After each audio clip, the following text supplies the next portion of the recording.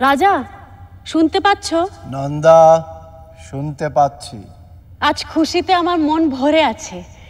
সেই খুশি নিয়ে তোমার ঘরের মধ্যে যেতে চাই।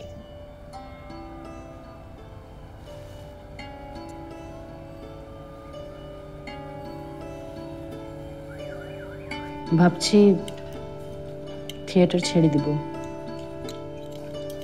ঠিক আছে। ঠিক আছে মানে?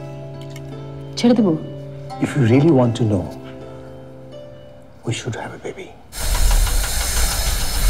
পুষ তোদের ডাক দিয়েছে আয় রে চলে আয় আয় আয় পুষ তোদের ডাক দিয়েছে আয় রে চলে আয় আয় আয় ডালা যে তার ভরেছে আজ পাকা ফসলে মরি হায় হায় হায় It was sensitive, it was intense, it was it was wonderful.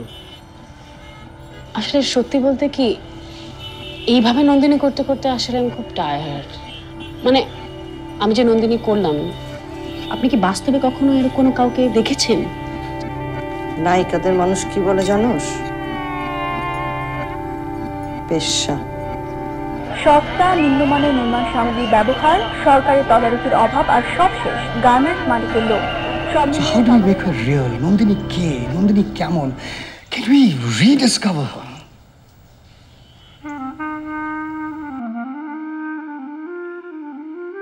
আমার প্রস্তাব হলো আমরা আমাদের নাটকটাকে একটা আধুনিক গার্মেন্টস ফ্যাক্টরির প্রেক্ষাপটে নিয়ে আসি যেখানে নন্দিনী একজন অন্তঃসত্ত্বা গার্মেন্টস কর্মী